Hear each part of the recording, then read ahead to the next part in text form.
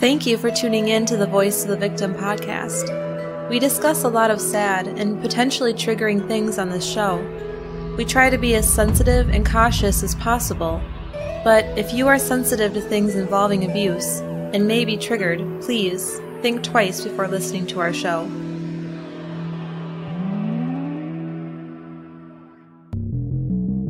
There are over 700,000 sexual offenders in the United States alone. With all social media these days, how can we protect ourselves and our children from these despicable predators? Welcome to the Voice of the Victim podcast, where we share stories of people who experienced horrible things and try to imagine what they went through, as well as look for opportunities that could have made a difference and encourage people to help others that are being abused. After Alissa Turney's disappearance in May of 2001, her father searched tirelessly, trying to find his daughter. He made flyers and distributed them all over town. He made trips to California where he thought she may have run away to. He kept searching, even when police seemed to have lost interest in the case. But seven years later, in 2008, a confession from a convicted murderer sparked up interest and attention that her case had never gotten before. And this new interest led to many shocking discoveries and even more unanswered questions. Welcome to the Voice of the Victim podcast. I'm Ryan. And I am Rosie. And this is part two of Alissa Turney, uh, part two of three.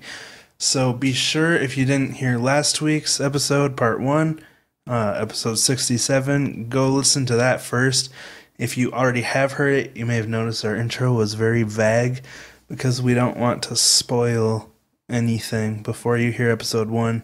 Before we jump into it, we want to take a minute to thank Brooke from A Voice for Alissa for reaching out to us because she messaged us and asked us to cover the story. And we feel it's really important because there's a lot of suspicion surrounding the main suspect who we started discussing last week, but there's never any resolution as of yet. So we're hoping, along with everyone else that's passionate about this case, that you know, Alissa's name can get out there and help make a difference in other cases, at least, if not finally get justice that it deserves. We also want to thank Atavia Zapala from the Missing Alissa podcast because she did a lot of great work and research digging into the fine details of this case and just creating an amazing serial podcast about Alissa. And that's called Missing Alissa. So definitely if you want a very detailed description of this case, go listen to that. Missing Alissa. And last but not least, we want to thank Sarah Turney for taking the time to speak with us. Sarah is Alissa's younger sister, and she's also Michael Turney's daughter. And she'll be at the True Crime Podcast Festival this Saturday, so we'll get to meet her there. And I'm very nervous just in general because there's so many people that are going to be there that like we're fans of. Mm-hmm. other people we don't really know that well but i'm so like, nervous. I try not to even think about it. Even though it's this saturday. That's probably a good idea. Yeah. I know. I'm just like we've never done a meetup or anything physical presence with other people when it comes to our podcast yet so was that a really weird way to say it? We're bar- barely physically present as it is. I know. I don't know. my brain is melted from sitting in my truck all day with no AC. Mm. Gets really hot in there. My brain is melted too. Oh yeah, tough day at work. Just from three boys under the age of twelve. Yes. well, let's talk about that more later. But no need. Now let's let's jump back into the story. All right. Last week we discussed Michael Turney and his interesting plans for terrorism to supposedly avenge his daughter's death. Right. But we, along with many other people, believe that this may have been an elaborate attempt to cover up his own involvement in Alissa's disappearance. So, this episode will be focused on details about Mike that serve as kind of a character witness and why many people believe he should be prosecuted for the disappearance of his daughter. I'll take it away. Throughout the whole disappearance, Michael was selling himself as a loving and caring, protective father figure. He seemed to be working tirelessly to recover his stepdaughter. But Like we discussed at the end of last week's episode, Michael wasn't the stable man he tried to sell himself as.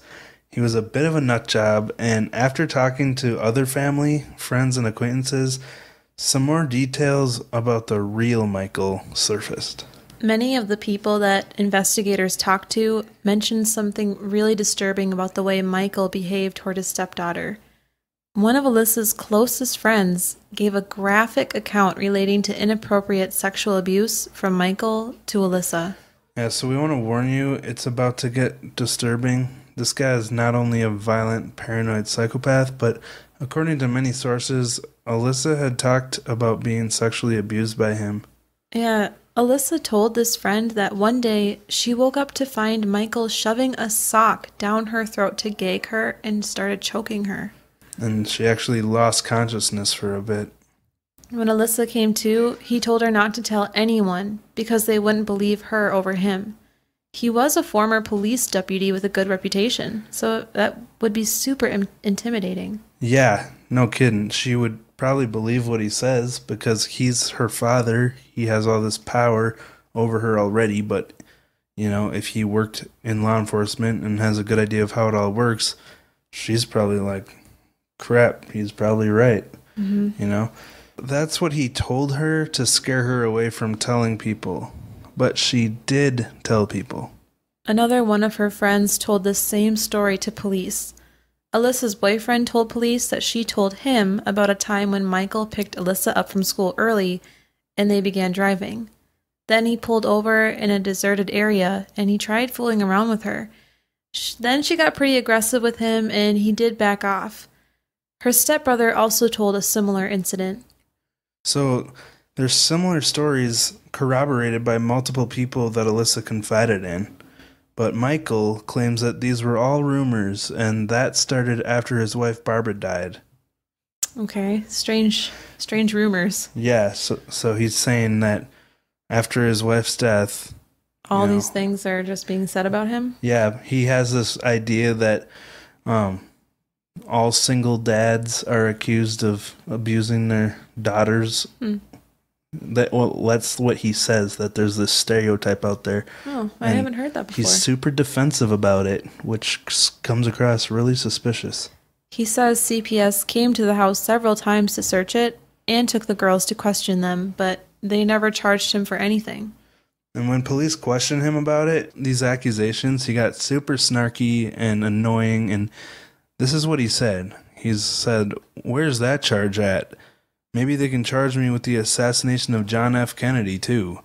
Dumb. Those are absolute lies. So he sounds like such a douche, getting overly defensive, which, if you have nothing to hide, you really don't have a reason to get so defensive.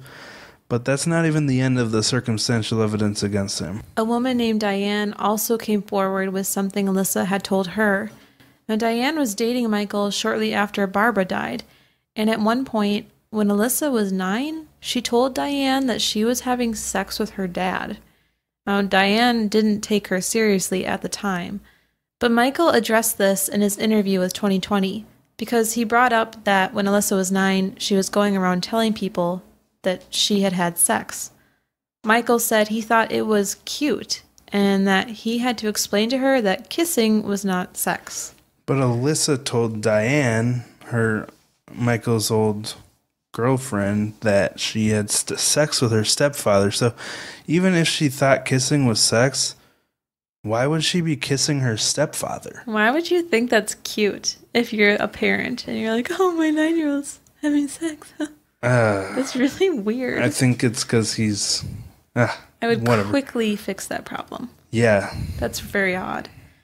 And during the search of Michael's house, they found a phone conversation Michael had recorded, talking to his brother in law, saying he wishes Alissa would keep her mouth shut.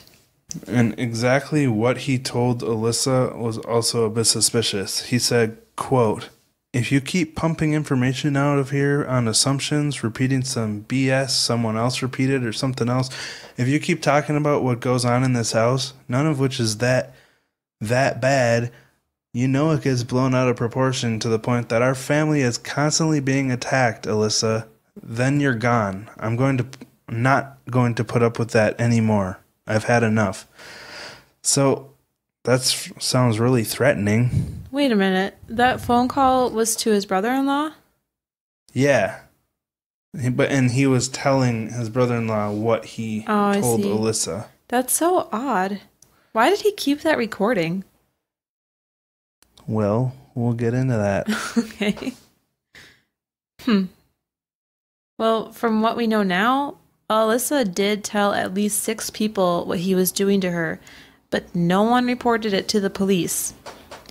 What's even more strange is that Michael called up CPS proactively and told them that if Alissa ever called them and told them he was sexually abusing her, that she was lying to get a truck. So, This is so strange. yeah, like why would he feel the need to call up CPS proactively? And more importantly, why would she make this stuff up? If it wasn't true, why would he be so worried about it, you know? So, this is all circumstantial or anecdotal evidence so far, but more and more crazy information just keeps piling up about this guy. Man, that is just so strange to me. I don't get. He called CPS on his own. I was like, yeah, if my daughter says I'm sexually abusing her, she wants a truck. Yeah. That's so weird. And just to say, my daughter's lying if she ever calls you. Like, How could you get any more suspicious? than- Yeah, that's like than asking calling the CPS. CPS. to come to your house, right? Right. How interesting. And I believe they did. Well, it was pretty evident that Michael treated Alissa much differently than he treated Sarah. Sarah was able to come and go as she pleased. He didn't really care much about what she was doing. Even though she did a lot of the same rebellious stuff that Alissa did, she never really had to rebel because he didn't hold her to the same strict standards that he did Alissa. According to a lot of people, Alissa felt like an outcast. Like Michael didn't really love her, but just gave her a really hard time. And nothing she ever did was good enough for him. As an example, he would get really mad at Alissa for drinking, but then he would turn around and buy beer for Sarah and her friends. And this is according to Sarah. So she could see herself that he was a lot harder on Alissa. Hmm. Michael justified all of this by saying that Alissa was too trusting of strangers and the kind of kid that he really had to watch to keep out of trouble. But according to Sarah, she was the same way. Yeah, at one point, Sarah talked about um, she had grabbed a stranger's hand in the mall. Another point, I think she got caught shoplifting.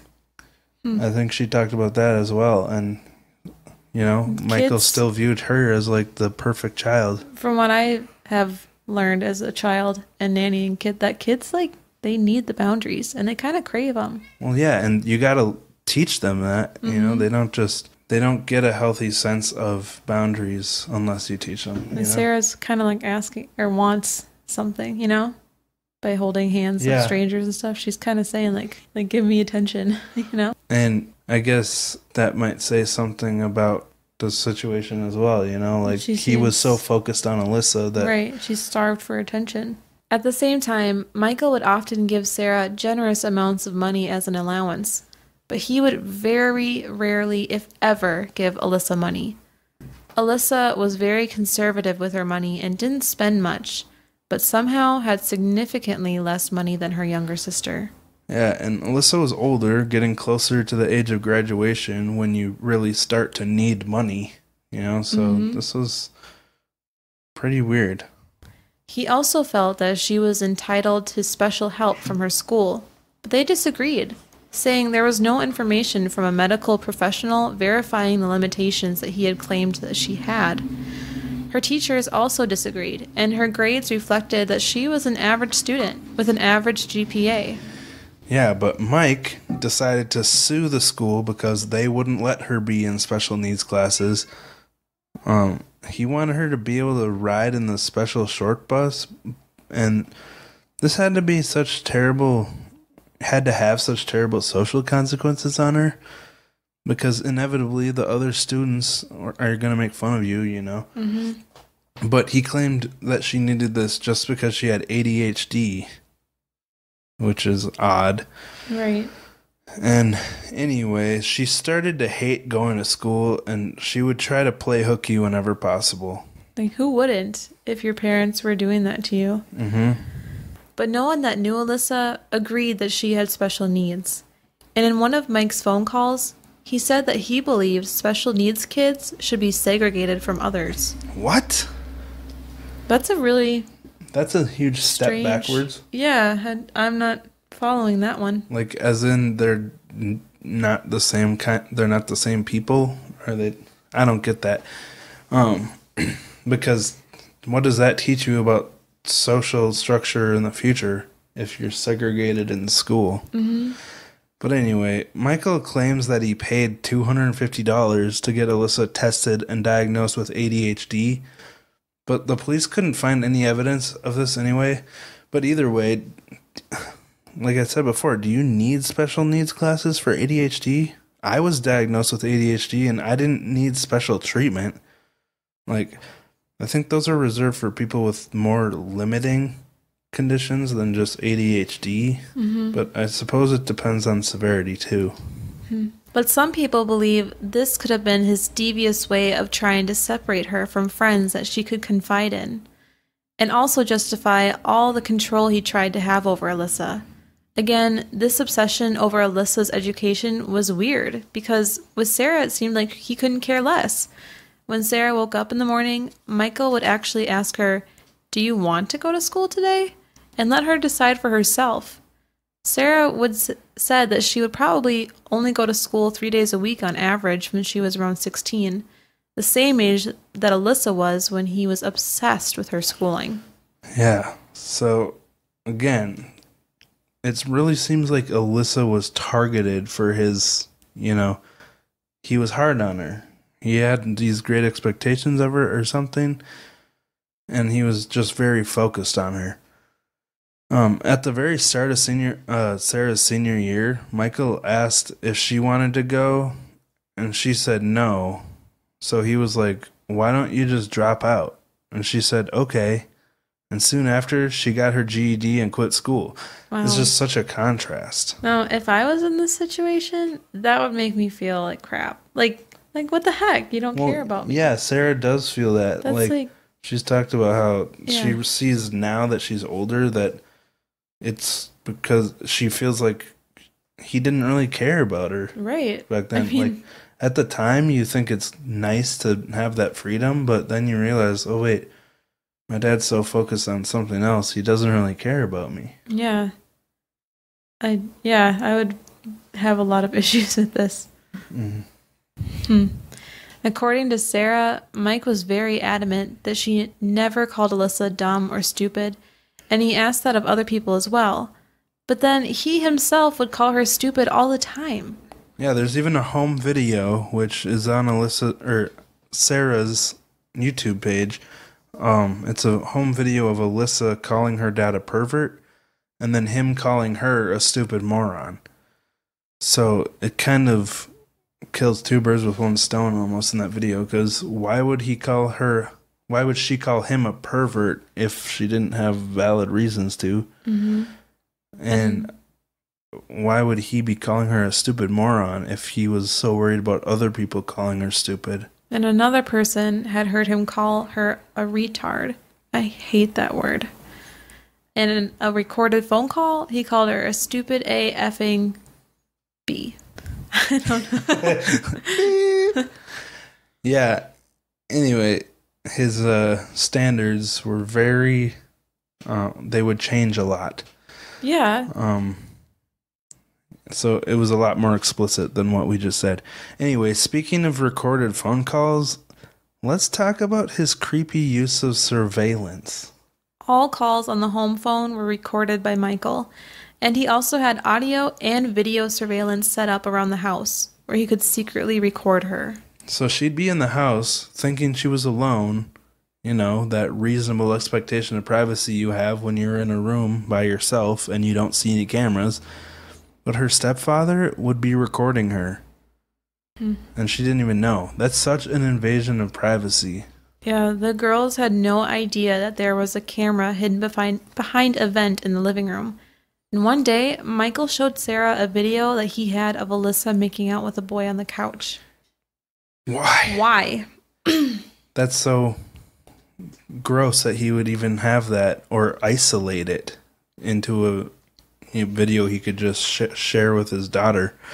But at the time, Sarah was super young, so she was kind of like his little buddy with their, you know, little adventures to see what Alissa's up to.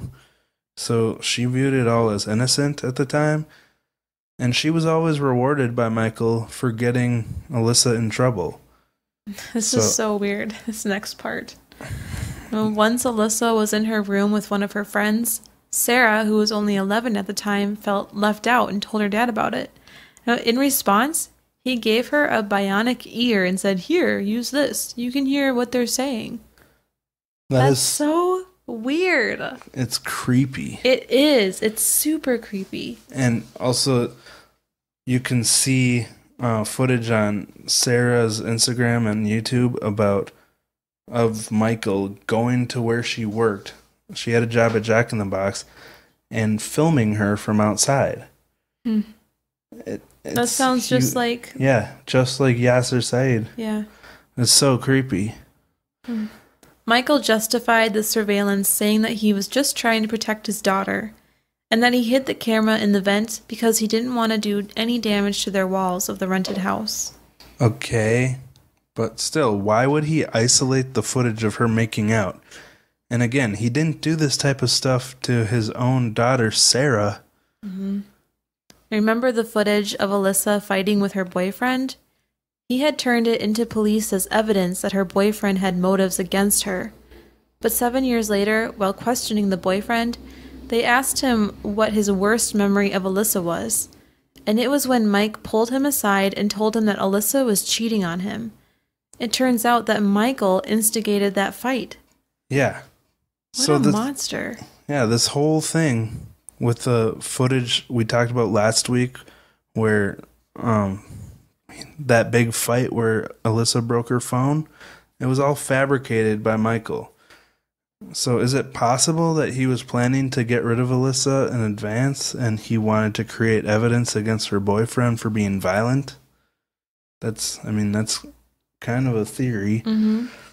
If so, it was a total fail because the boyfriend wasn't violent, and even in that big fight where she broke her phone, nothing about his actions came across as reasonably suspicious to the police. In fact, it showed them how manipulative Mike could be.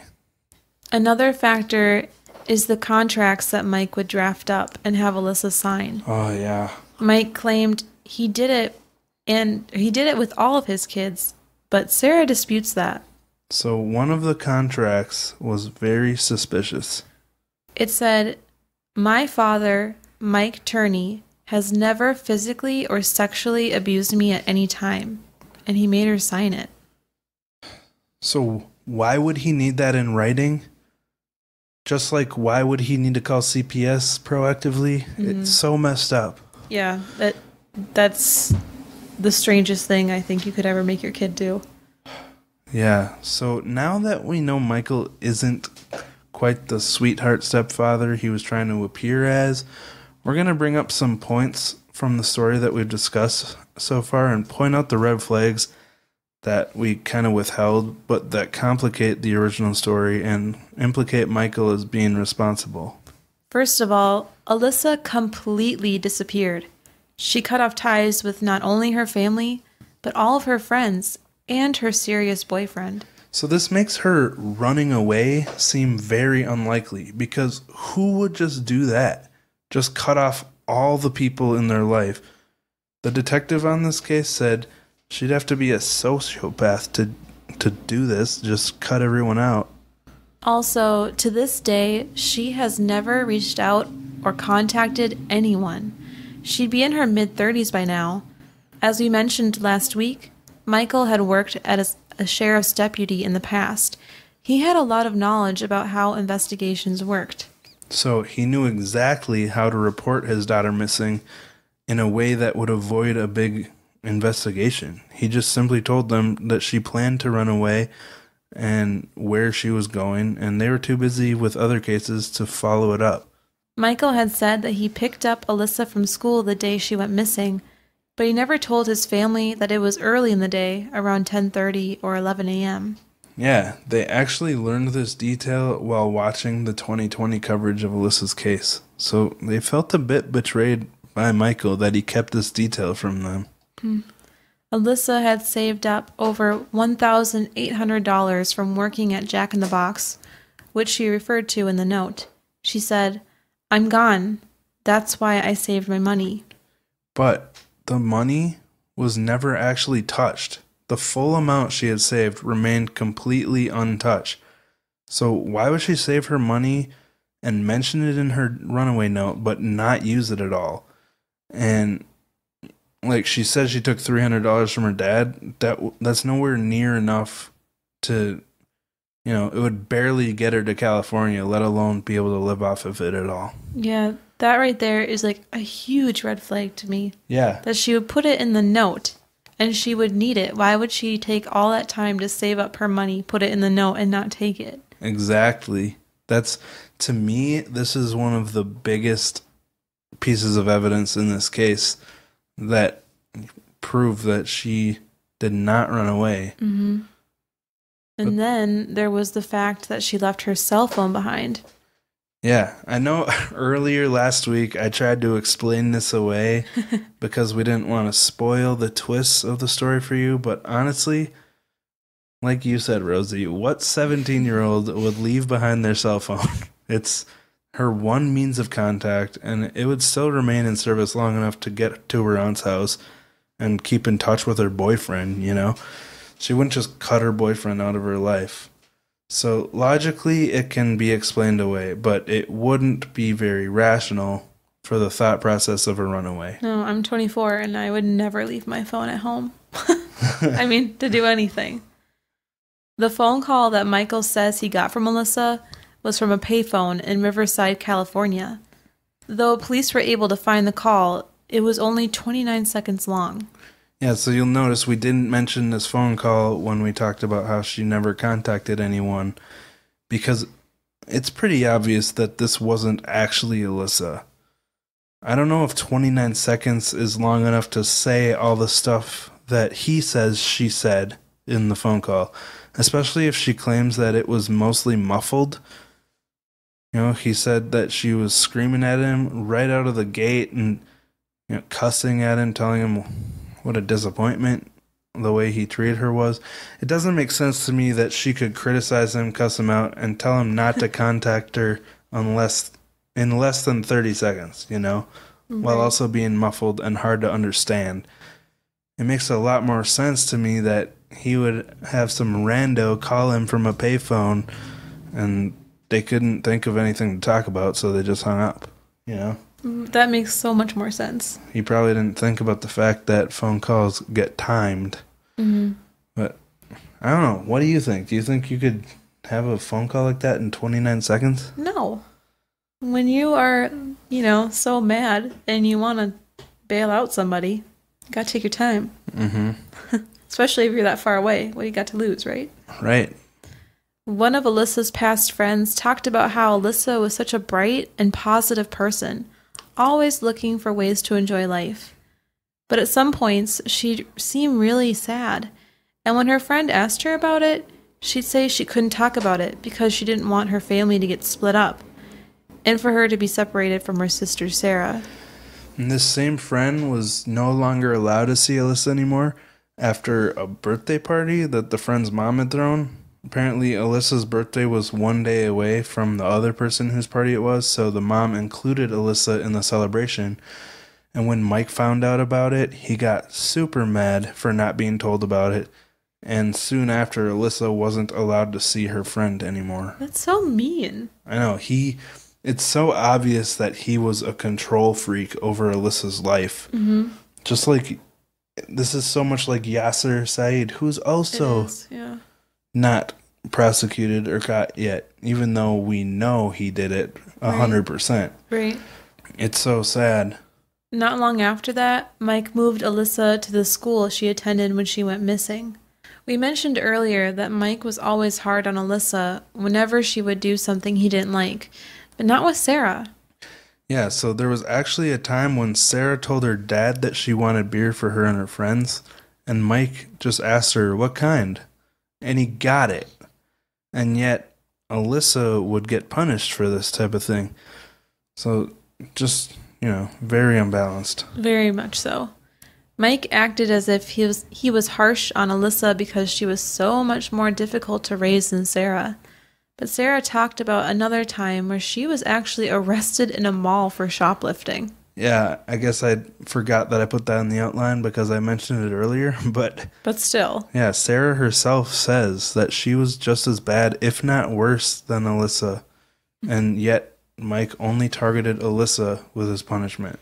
while Alissa was working at Jack in the Box, he would show up there randomly just to make sure she was actually working. What is wrong with him? Yeah, and like we said earlier, he would take video. Like I guess that could be normal to show up and make sure your kid's at work. Every once in a while. Yeah, exactly. But it shows a huge lack of trust, and the fact that he was filming is, you know, Oh, that's creepy. that goes to, into the Yaser Said territory, which makes it almost an obsession. Actually, it is an It's obsession. Totally an obsession. It's obvious that Mike was obsessed with Alissa. You know? Another sad detail is the way Alissa ended up with Mike. Before she got cancer, Alissa's mom, Barbara, had told her sister that she was miserable with Mike and that she had a plan to become financially independent so she could leave him. So Barbara wanted to get away from Mike before she died. But then after she was diagnosed with cancer, um, Barbara's father, Earl, called up Alissa's biological father, Stephen Strom, to let him know. Stephen says that Earl told him Barbara wanted to give him custody of Alissa if she died, but because Mike had legally adopted her and Barbara was preoccupied with the stress from dying of cancer, she was never able to attain her wishes for Alissa's fate. That's so sad. I know. The fact that she was done with Mike and she wanted to get her daughter to a safer household, but she couldn't do anything about it because cancer drains the crap out of you, man. Like, I'm so. She probably had no energy to worry about it, you know? It's yeah. just so terrible. But um let's talk about the custody situation. Apparently Mike had been a nightmare to work with for Alissa's biological father after Barbara had married Mike. We talked a little bit about Steven Strom last week, but now we're going to talk about an incident that he talk he claims happened with Mike. Yeah, they're pretty crazy. Steven said that when he was visiting Alissa at Mike and Barbara's house, Mike had kicked him through the window of his car after sharing some heated words about the way Barbara ended up with Mike. Then, Stephen was no longer able to visit his daughter because Mike had fully adopted Alissa, but Stephen continued paying child support. Not long after this, Steve was summoned to appear before a judge and found out that Mike and Barbara had petitioned him to increase his child support payments. But after finding out that Stephen wasn't allowed to see his daughter, the judge actually decreased the child support payments. Yeah, so that really backfired on Mike. Well, good for the judge. Yeah. But this is just another example of the way Mike interacts with people. You know, at first he got violent, which there's some discrepancies in that story because um, Mike's son claims to have witnessed the whole thing and that uh, Steve tried to run over Mike with his car first. Wow. But I mean, we weren't there, so we don't know for sure. But after hearing all this other stuff about Mike, it wouldn't be surprising that he kicked him through the window. No matter what happened, that's not the way an adult handles this kind of situation when they're fighting over the custody of a child. Mm-hmm. You don't kick someone through their car window. No, you don't. So, the whole reason this case wasn't properly investigated is pretty much because of the assumption that Alissa was going to live with her aunt. Alissa's Aunt Lynette lived in California, and she's the one that she would talk about going to live with. The family really didn't keep in touch very often. But a couple of weeks before she disappeared, Mike actually talked to Lynette on the phone. He called her to ask if she'd be willing to take Alissa for the summer because he was having some trouble with her. Apparently, Mike had caught Alissa smoking marijuana and he freaked out about it, so tensions were really high in the house. Were they really high? That's a good one. Got it. Anyway, Mike was freaking out at Alissa and she was freaking out about him. But Lynette kind of talked Alissa down after this, telling her to hang in there because she was almost 18 and she could move out soon. And Lynette said it was fine to send Alissa out to stay with her. But he never actually did. Instead, Lynette didn't hear from her again. This was just a couple of weeks before Alissa disappeared. And knowing what we know about Mike now, both of Alissa's maternal aunts, Lynette and Teresa, think they know why Alissa never ended up going to live there. They speculate, based on some suspicious evidence, that Michael realized that if he sent Alissa to live with someone else, she'd eventually tell the truth about what he had been doing to her. So, we've scratched the surface of the sexual abuse, hearing from the people that Alissa confided in, but there was another very strange incident. David Garman is Michael Turney's nephew, and he had a personal experience to share about the Turney home. David was staying at Mike's house for a few months back in 1999 after getting divorced. He had just lost his job and had been struggling with alcoholism. He was having trouble getting back on his feet after all of this. Yeah, that's a lot of stuff all at once. Yikes. Mike allowed him to live there if he helped out around the house and gave the girls rides back and forth to school. David noticed that there was always tension between Alissa and Mike. One day, when he picked Alissa up from school, she started crying about Mike not allowing her to go to school, to a school dance with a boy she liked. After David told her to hang in there, and that it can't be that bad, she replied to him, You don't know him like I do. And those words really resonated with David, especially when he thought back on something Mike had said to him when he first moved in. Mike had told David that at one point, Alissa had gotten so out of hand that he had to handcuff her to a chair and gag her. What? I don't care what your child says or does. There's never a good reason to bind and gag bind and gag a child. Like thinking about this, this is just one incident that came out, but can you imagine what Alissa actually had to live with with her father? For him to be willing to share that with somebody, I can't imagine the things he's not willing to share. That's a really good point. Ugh, it's terrifying because we know he's really manipulative. We know he's really good at covering things up and hiding things. There's got to be so much more about the way he treated Alissa that we just don't know. I mean, prisoners are treated better than that. But, and then, and he just like, he just said it. He just volunteered that information. But there was another insane discovery by David that became the final straw for him. David was working at Sam's Club while he lived with Mike, and one night he got off his shift around midnight and came back to the house to crash.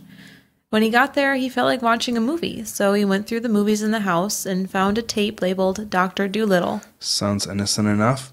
It appeared to be a tape of the movie recorded off the TV, not an actual commercial Oh, yeah. copy. Had a lot of those as a kid. yeah, back in the 90s, people always recorded movies off of TV, you know? Mm-hmm. But when he popped the tape in and played it, he was shocked by what was actually on it. He saw a girl laying on the couch in the Turney home, wearing nothing but shorts and a newsca- newspaper covering her face. She was completely motionless and almost appeared to be unconscious. That is so messed up. You know, just let that sink in, like what that could possibly be. Now, her face was covered, but David was a hundred percent certain that it was his niece, Alissa, just, you know, based on her frame and stature. And then it switched to another girl in the exact same pose, topless with just a newspaper, but with darker hair and David also recognized this girl as one of Alissa's close friends. So They're completely motionless, faces covered, breasts exposed, laying on the couch in the Turney's living room. How could this video ever make any sense? Like, it seems like Michael had drugged his stepdaughter and her friend or something and stripped their tops off, covered their faces, and recorded them. He would have had to. How else would he ever get this footage? This Right. is so messed up. And then he hid it in plain sight on a VHS tape in the living room. Mm-hmm. Like, what? After seeing this, David packed up his stuff and left immediately. And he was furious at Mike. He wanted to beat the crap out of him, but he left and he says he didn't even think to report it, which How? How did you not think to report it? to save these kids. I know. It's insane. It's so messed up. and I think he regrets it now. But better. It's, it's so like there's nothing that makes this make sense. So this incident's obviously a huge glaring red flag. And again, it's important that we mention that this entire scenario is based off of David's testimony. And since this was almost a decade before the investigation actually started, the tape was nowhere to be found. But based on all the other people that testified about Alissa confiding in them, it really does seem like it's true, you know? I'm sorry. David didn't kill Alissa or have anything to do with the disappearance. But by not showing anybody this tape that made him so scared, he left immediately. I mean, Well- you can't help but wonder like, dude, you're partially to blame. He's not partially to blame, I know, but he have could have done something. Yeah, it's just so Um, upsetting because, like, what- what is that? I know. It's like we can't blame him for the things Michael did, but yes, he he should have come forward. He should have kept that tape and brought it to the police right think away. how different everything would have been if he would have brought that tape to the police? It's solid evidence. I'm sure that you know tears him apart all every, every day, you know. Um, but we gotta remember he had a lot on his mind. He had just gone through a divorce. He had lost his job. He was trying to start to get back on his feet, and he was. It was midnight, and he had just gotten off of a long shift, so he wasn't thinking clearly. He probably probably like a half hour down the road was like, oh, I should have brought the tape, you know? Yeah. But yeah, he should have at least come forward and reported it or something. But we don't want to rag on David too much. I know, I know. Ugh. It's just it's kind It- of like it is a the- tough it is tough though because this these are the kind of moments and cases that we always focus on like this would have made such a difference but again you know it's all based off of his words so anyway there's one more huge incident from Mike's past that really shows the kind of family he was a part of Mike had an older brother named James Turney, and his daughter, Renee, had an awful experience growing up. In 1974, Renee was 11 years old. One day, her mother, Donna, had come over to get some of her things. She had filed for divorce from James and was staying at her mother's house. Renee remembers her uncle, Mike Turney, coming over to their house to take her and her siblings to McDonald's. Renee could sense that something was wrong and didn't understand why Mike was coming to take them away. Yeah, and she really didn't want to leave with Mike, so she was resisting and slowing him down. While they were still in the driveway of the home, Renee heard what sounded like a gunshot. She took off and ran inside the house, making her way to her parents' bedroom. Before getting there, she heard a second gunshot. She swung the door open to see her father, James, shoot her mother for a third time. So her mother Donna laid face down on the bed in a pool of blood, with a bullet hole in each shoulder and another grazed Oh my bullet on her hip. She looked into her father's eyes and she just saw pure hatred and rage. Then James angrily punched the wall. He was expecting his kids to be gone. Renee ran back outside and asked her uncle Mike Turney for help, telling him what had just happened. but he refused to follow her inside. It turns out that when Donna was in the bedroom getting her clothes, James hit her really hard from behind and just started beating her over and over. He punched her for a while, then walked away, figuring he had gotten it all out of his system. But Donna got up. Then she heard him say, Don't make me do this, as she heard a shot and a bullet fly through her shoulder. and these were hollow point bullets which explode on contact. He shot her again in the other shoulder. So the bullets literally exploded both of her shoulders, and just as he was about to shoot again, the door swung open. The door flung open so hard that it threw off the aim and injured James's hand. So this is where her story gets a bit murky because Renee, the daughter, remembers being the one to swing the door open and causing the last bullet to just graze Donna's hip. But Donna remembers it being Mike that swung the door open. We don't know for sure either way. I can't believe that Donna survived this. Like, I know. okay, I imagine a bullet hitting one shoulder and then the other, and then oh man, just Well, Donna has theories about why he did this, but her biggest theory is because he wasn't trying to kill her. Hmm. He was trying to just injure the parts of her body that she used for work. But we'll talk more about that later. It's possible that Renee was the one that swung the door open. Then, when she ran to get Mike for help, at first he refused, but eventually made his way back to the room. Donna remembers Mike propping her up and looking at her, saying, Oh, you're okay. Then Donna I think it was more like, "Oh, you're okay." Oh, really? Yeah. Like mean? Then Donna was helped out of the house by some neighbors and walked past her children crying. And here's where it gets really fishy. Mike and James's sister Shirley lived just a few blocks away.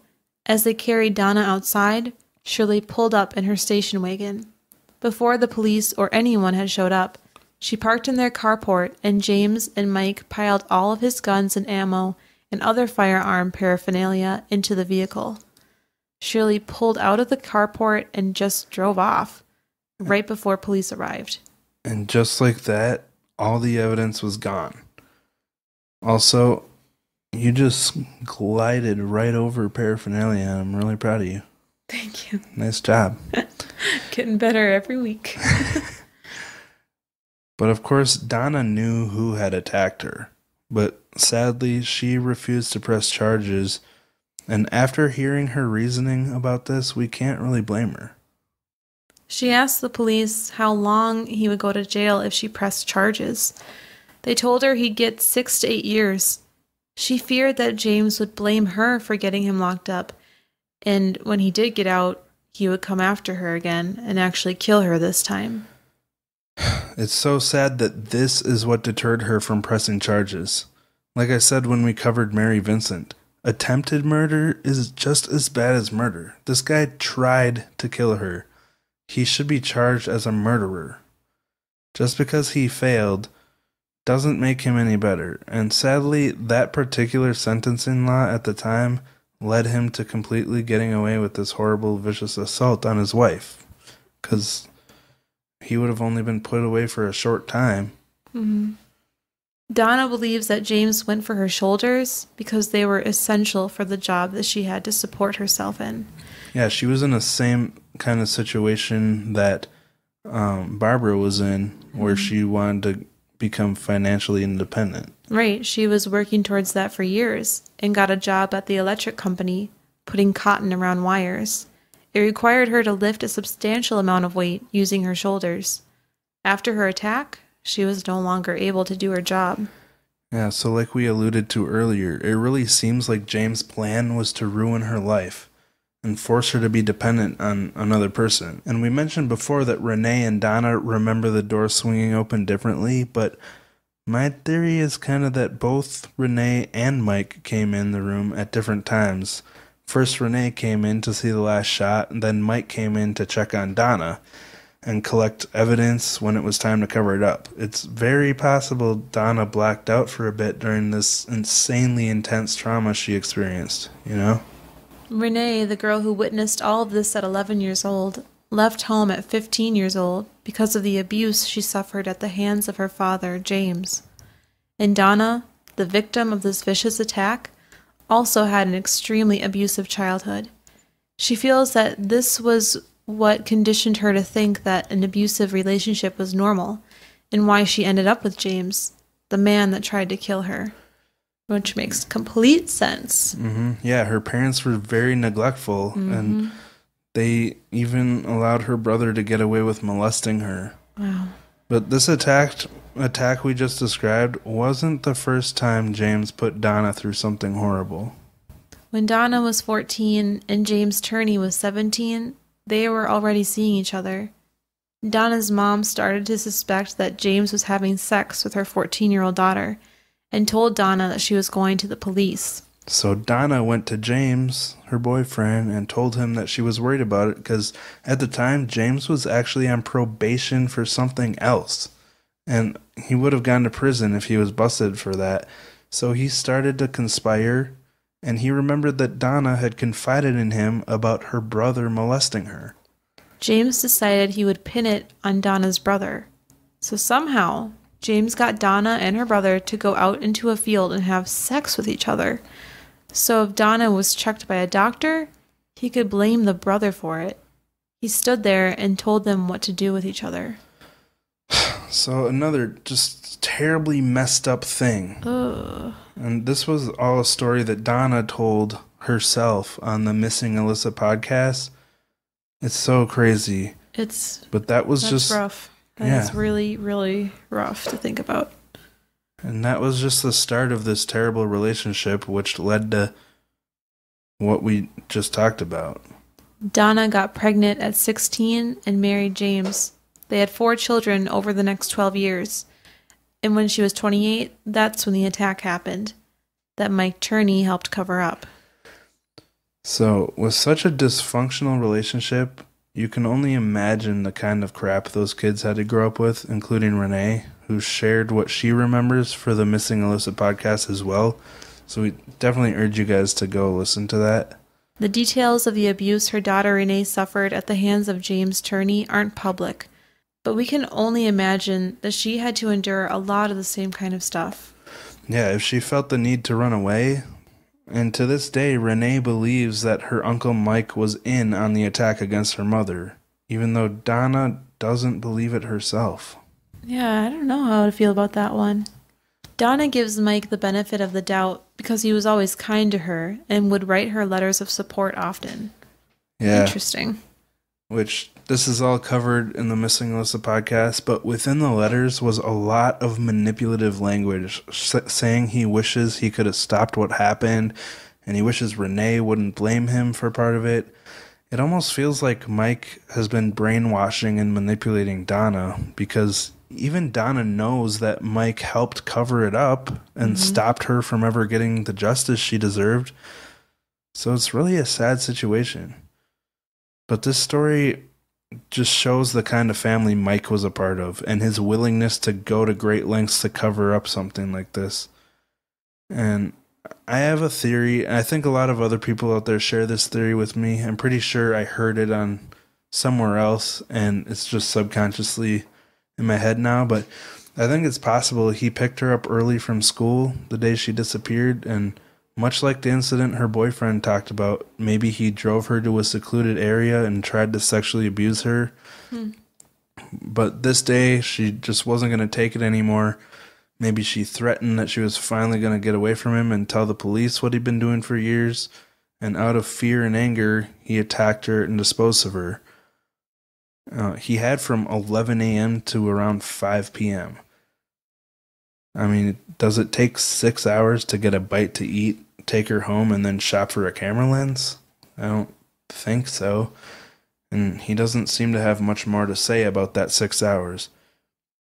He was the last person to see her by his own admission. Um, so it's just so suspicious. The same scenario could be maybe it didn't start in the car, maybe she just told him she was going to move away for the summer and he was so obsessed with her, you know, we see that through this whole episode. He had an obsession with her. He was always targeting her, whether it was sexual abuse or whatever. And maybe he just really didn't want her to leave. Yeah, I mean, he didn't want her to leave. that no matter how the story goes, we know that he was mani- manipulative and did not want her to leave. Yeah, it almost seems like a if I can't have you, no one can kind of situation, you know? This seems like a no-brainer that he did it. I don't understand why, Well, you know. like that's the problem is this is all circumstantial evidence. There's no body. but the money thing, I just well, yeah, it, that, and that the, ah, yeah. that's that's why we're covering this because there are so many things, so many little fine details. It's ridiculous. Um but anyway, that concludes our second part um which this is our first three-parter because it's still a case that's very much in the works and we want to do all we can to shine a light on it and hopefully play a small part in getting this case the attention and action it deserves.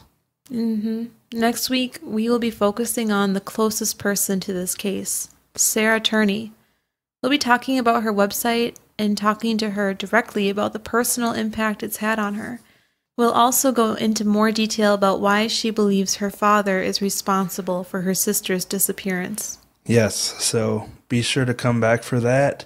Um, I mean, there's no doubt that Sarah has been affected by this case the most, you know, by the disappearance of her sister and the crazy investigation or lack thereof of her father, and now all the media surrounding it. It's just, it's a crazy ride for her, and she was thrown into a terrible situation. Like we talked about last week, Michael spent I mean, he got sentenced to 10 years in prison for the possession of the firearms, so it it was a huge impact on Sarah's life and we will talk about that next week.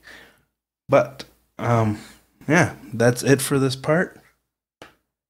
So, thank you guys so much for listening. Uh and again, we want to thank Sarah Turney for just talking to us and being willing to be so open with us as you'll hear next week.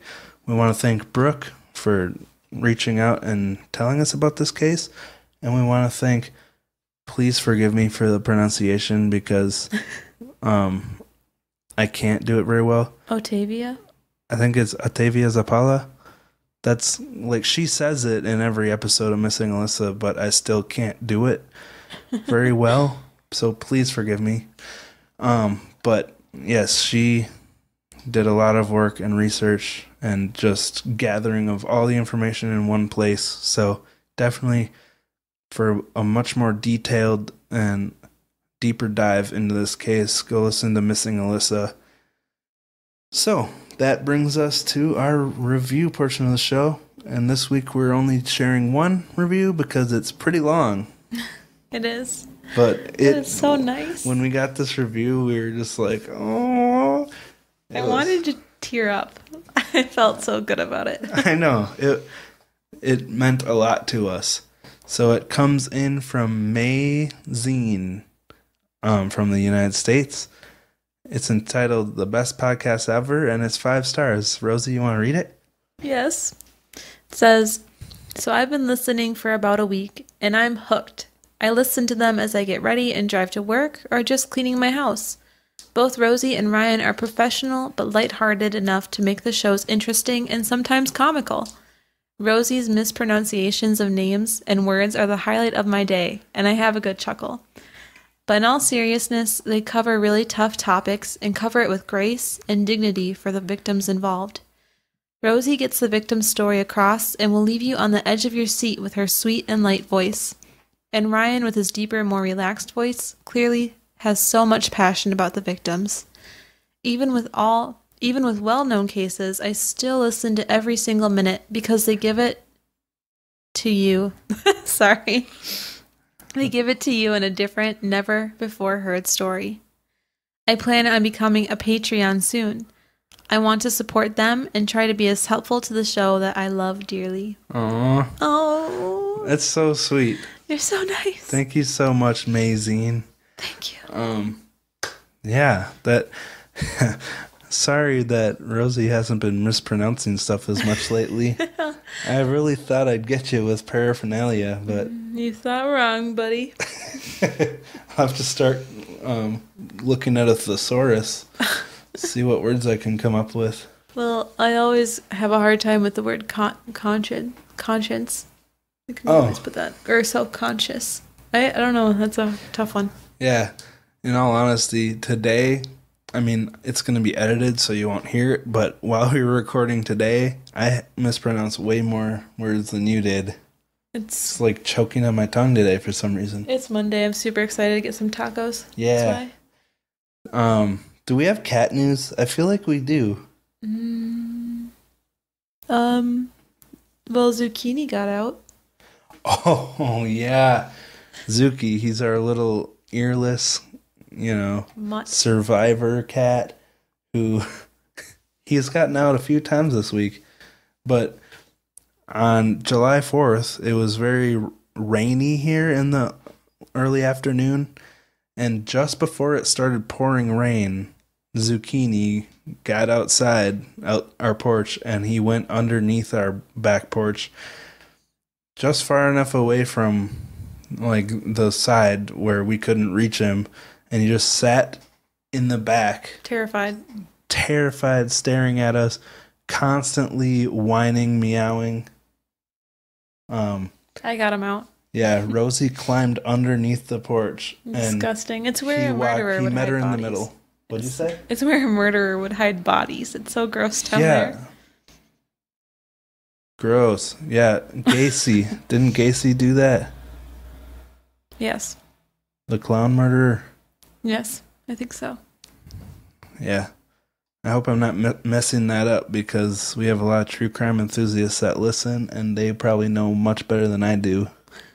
But anyway, um yeah, so if you're planning on coming to the True Crime Podcast Festival, definitely let us know ahead of time because we want to know if any of our listeners will be there so we can meet up and say hi and hang out. Um, otherwise, yeah, like I said before, I'm nervous. Or if you have any good suggestions for where to eat in Chicago, those would be helpful. Yeah, yeah, that too. Is the zoo any good there? I'm really interested in going to the zoo. You mean the animal prison? I thought you were an activist. I, I, I still want to go to the zoo.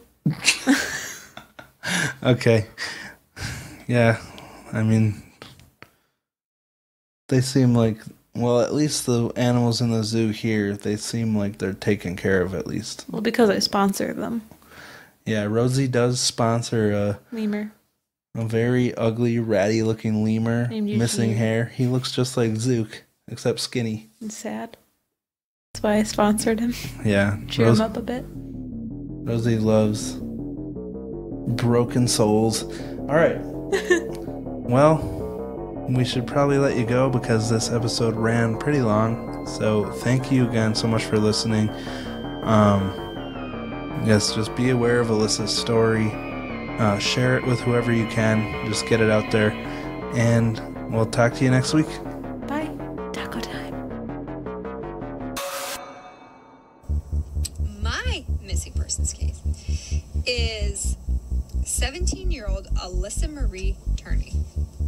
Alissa Turney. Alissa Turney. Alissa Turney. On this episode, we're going to tackle a mystery out of Phoenix, Arizona, with a lot of disturbing twists and turns. 17 year old Alissa Turney vanished. Alissa Turney. Alissa Turney. Alissa Marie Turney. Disappearance of Alissa Turney. And today's a really exciting episode because we are talking about the case of Alissa Turney. Okay, so today we are doing um, Alissa Turney. Alissa Turney. Alissa Turney. Alissa Marie Turney was a 17 year old from Phoenix, Arizona. and someone reached out to me there and said, "Would you please cover the story of my missing sister?" Um, and ever since, I have essentially been uh, in contact, I think daily, with uh, Sarah. Her name is Sarah Turney, and her sister is Alissa. But do the clues to Alissa's disappearance point much closer to home? Mike was watching his own children through a video camera. Alissa had told him very graphic things, very disturbing things. Secret Home Movies, a warehouse packed with evidence and a cold case that turns hot. Again, there's only two people that can confirm whether I did it. One is me, and the other is Alissa. A family torn apart. My name is Sarah Turney, and you might have heard of my sister Alissa's story before.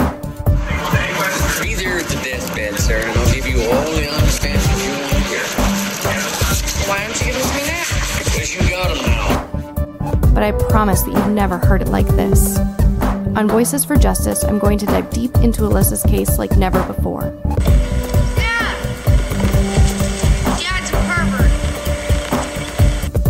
I'm going to interview people you've never heard from, and I'm going to expose more about the police, my family, and myself than ever before. Acknowledge that he wasn't briefed on the case, which you're not going to do, and I understand, but he wasn't. He said that he was aware that there were no sexual allegations, which is completely crazy to me because there's over 25 people in your documents that allege this. So when he says that, I don't know what he's talking about.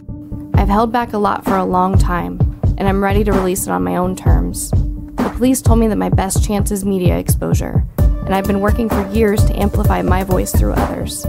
But now, I'm ready to make some noise.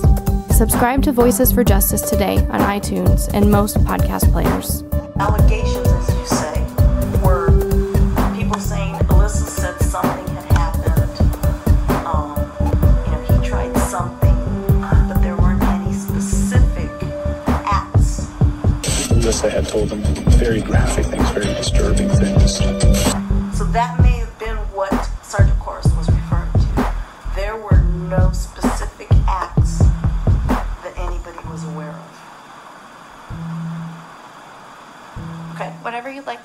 Going to go round and round. It's all email is public record, and I'm happy with that.